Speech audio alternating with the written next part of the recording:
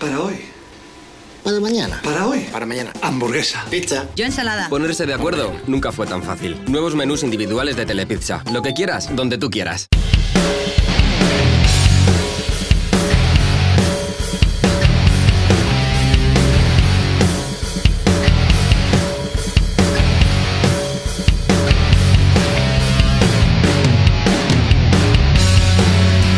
Goiza pasatzen gaude hemen e, gure babesle nagusiaren etxean.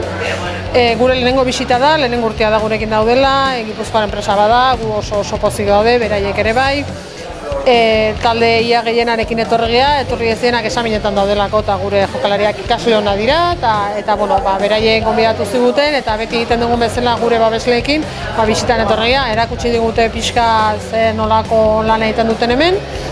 E, txin egin dugu urte berria denentzat ona izateko, Eta, bueno, hemen gaude orain, ba, hitz egiten, zuzendariarekin, eta guretzako oso oso visita polita. Están las chicas del fútbol, yo creo que para nosotros es un orgullo que estén con nosotros. Eh, les hemos intentado pues, acercar un poco a lo que es el mundo de S21C, a lo que es el mundo de, la seguridad, de, la ciberseguridad en este caso y sobre todo pues a que entiendan que nosotros somos también un equipo de cantera, igual que la red es un equipo de cantera, que tenemos un déficit de mujeres en ese 21C que es algo que queremos reforzar, pero que estamos convencidos de que estamos en la línea de que eso sea pues una actuación de futuro. ¿no?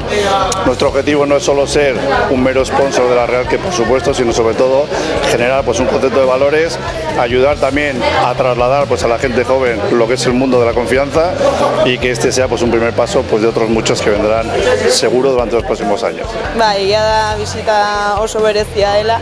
Zegun azkenen ere aspalditik daukagu gure kamisetan eta entrenatzeko arropa beraien e, logoa edo eta gogo genitun ezagutzeko, enpresa ere pixka gehiago ezagutzeko, orain elkarrizketatzen ari, bueno, elkarrizketatzen e, txarla bat edukitzen ari gara bertzertan datzen hau dena, eta oso pozik eta batez ere e, eskerrak eman beraiei ba, urte honetan gure babesle nagusia izateagatik, beraien konfiantzagatik eta pozik horregatik eta eskerrak eman. Pues muy bien, la verdad teníamos ganas ya de conocer a los integrantes de esta empresa, de que nos está dando confianza y está con nosotras en esta nueva temporada. Y nada, hemos venido, estamos con ellos hablando, nos están contando qué tal todo, cómo va, cómo funciona su empresa y tal, y hablando sobre ordenadores y tal, y nos viene bien a nosotras eso también saberlo. Pues tomando una copa de champán para celebrar la Navidad y, y nada, pasar lo mejor que podemos. Bai ez, e, gaur etorri gea e, gure babeslea dan e, S21 sekera, eta bueno, e, eskerrak ematea ez, azkenen ba, aurten e, guri, gure alboan egoteagatik, eta bueno, pixka bat e, ezagutu de e, egiten ari dian lana, ez? E, bueno, egiten duten lana egunero eta bueno, ba, ba oparitxo batzuk ekarri dizkiegu ere, ba eskertzeko e, gukin egoteatik beti eta eta emate guten babes hori, ez?